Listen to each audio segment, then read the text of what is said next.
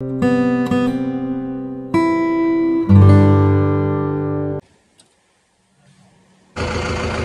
दोस्तों, आपको इसका जो आवाज़ है, ये सुनाई देते हैं।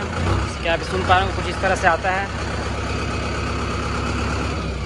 और जो स्टेयरिंग रिस्पॉन्स तो काफ़ी ज़बरदस्त दिया हुआ है। पचास एच ट्रैक्टर में तो मुझे कोई भी ट्रैक्टर ऐसा नहीं लगता जो इसका सामना कर सकेगा। नमस्कार, मैं रितेश कुमार। आज हम देखने के लिए Mahindra Arjun Novo 605 D I जो कि एक 50 एच का ट्रैक्टर है। और ये अपने कैटेगरी में सबसे बेस्ट ट्रैक्टर माना जाता है। और ऐसा मैं क्यों बोल रहा हूँ, आप आगे वीडियो में जान जाएँगे। तो चलिए, आगे बढ़ते हैं इंडिया ट्रैक्टर टेक के साथ। दोस्तों राइट साइड से आप ये ट्रैक्टर के लुक को देख सकते हैं। ये बिल्कुल ही पुराने अर्जुन नोवा छः सौ आई के हिसाब से ही बनाया गया है। और इसमें आपको सिंगल पीस बॉनेट मिलता है। इसको ओपन करने के लिए यहाँ पर अलग से ये लीवर दिया हुआ है। और ये जो ओपनिंग है, कुछ इस तरह से मिल जाएगा। और दोस्तों, ये वाला जो 605 डी आई पी एस है, ये बिल्कुल लेटेस्ट वर्जन है।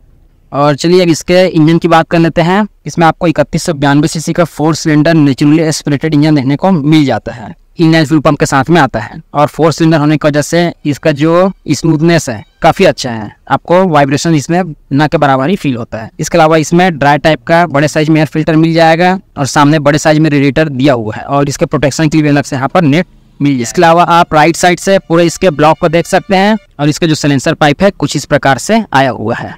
और दोस्तों, अगर इसके पावर फियर की बात करें तो यह ट्रैक्टर 48.7 एचपी का पावर 2100 इंजन रेटेड आरपीएम पर और लगभग 214 न्यूटन मीटर का टॉर्क प्रोड्यूस कर और जिन किसान भाइयों को टॉर्क का मतलब नहीं पता, उन्हें हम बता देते हैं कि जिस ट्रैक्टर में जो टॉर्क है, जितना अधिक होगा, उस ट्रैक्टर का जो पुलिंग क्षमता है मतलब खींचने का जो क्षमता है, वो उतना ही अच्छा होता है। और किसान साथ यहाँ आप ऊपर से इसके पूरी अरेंजमेंट को देख सकते हैं। और ये रहा इसका कूलेंट है। तो बात करें अगर इस ट्रैक्टर के वारंटी और सर्विस इंटरवल का तो इसमें आपको छः साल का स्टैंडर्ड वारंटी देखने को मिल जाएगा। इसके अलावा, इसका जो सर्विस इंटरवल है, ये आपको 400 घंटे का मिलता है। मतलब एक सीज़न तक तो आप बिल्कुल आसानी से इसे चला सकते हैं। और लंबा सर्विस इंटरवल होने से आपका समय और पैसा दोनों का बचत हो जाता है। तो महिंद्रा ने इसमें वारंटी और सर्विस इंटरवल भी काफ़ी सही दिया हुआ है। इसके अलावा अगर इसके फ्रंट एक्सल को देखें तो इसमें पी साइकिल टाइप का फ्रंट एक्सल मिल जाएगा, जो कि हेवी ड्यूटी कामों के लिए काफ़ी बेहतर होते हैं और फ्रंट में आपको इस प्रकार से हिच भी मिलता है।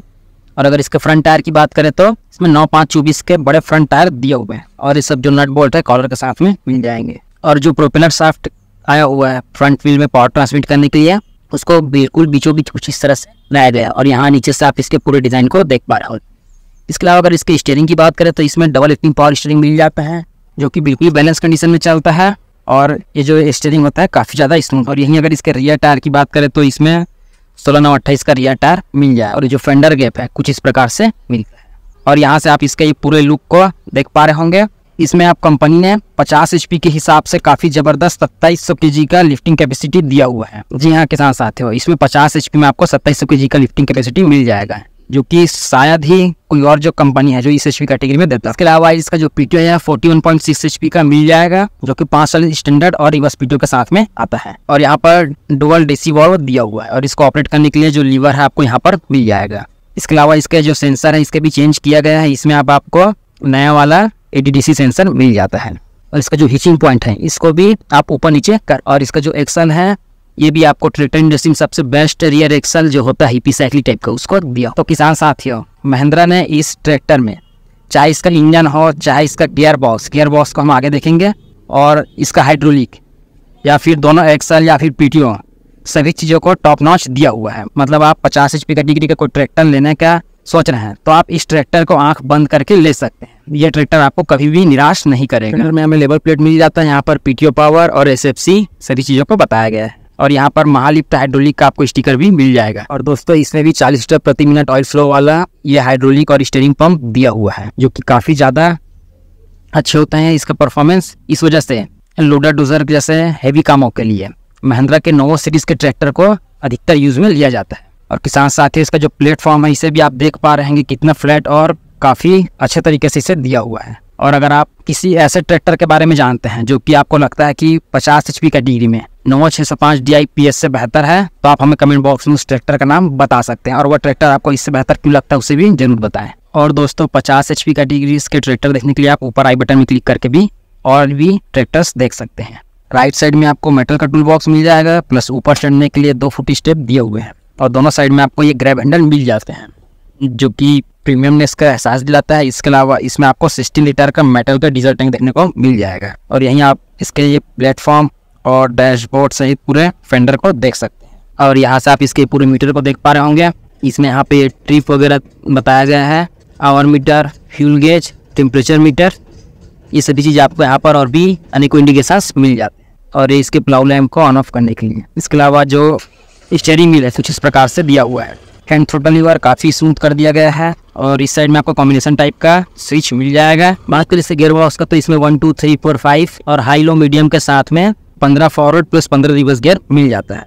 और इसके जो गेयर बॉक्स है, यह सिंक्रोमैच टाइप का दिया हुआ है, जिस वजह से इसको आप फिफ्थ गियर से सेकंड फ़र्स्ट में भी बड़े आसानी से शिफ्ट कर सकते हैं बिना किसी आवाज़ के। तो महिंद्रा ने अपना इस 50 एच ट्रैक्टर में भी अब सिंक्रोमेश टाइप का गियर बॉक्स दे दिया है। प्लस यहाँ से आप इसके ये पूरे पैकिंग वगैरह को देख पा रहे होंगे, काफ़ी अच्छे तरीके से किया गया है और इसका ये फोर व्हील को इंगेज और डिसंगेज करने के लिए, साथ ही साथ आपको यहाँ पर डिफरेंशियल लॉक भी मिल जाएगा। और अगर इसके क्लच की बात करें तो इसमें डबल क्लच देखने को मिल जाता है और इसका जो पीटीओ के इंडिपेंडेंट पीटीओ क्लच लीवर आपको यहाँ पर मिल जाएगा और इसमें आपको फॉरवर्ड और रिवर्स दो पीटीओ स्पीड मिल जाते हैं। तो इसका जो position control draft control lever right side में कुछ इस तरह से दिया हुआ है। इसके अलावा इसके डीसी वॉल्व को कंट्रोल करने के लिए लीवर अलग से कंपनी फिटेड मिल जाता है। प्लस जो फेंडर है, ये भी काफ़ी अच्छे लंबे चौड़े डिज़ाइन किए हुए हैं। तो दोस्तों, महिंद्रा ने अपने इस 50 एच के ट्रैक्टर में axle gear box PTO hydraulic engine सभी चीज़ों को काफ़ी बेहतर दिया हुआ है। इस वजह से इसमें कमी निकाल पाना काफ़ी मुश्किल है। और आपको यहाँ पचास एच का ट्रैक्टर कैसा लगा, हमें कमेंट बॉक्स में ज़रूर बताएँ। तो आज के वीडियो के लिए इतना ही। तो चलिए, आते हैं किसी अन्य वीडियो के साथ। तब तक के लिए नमस्कार।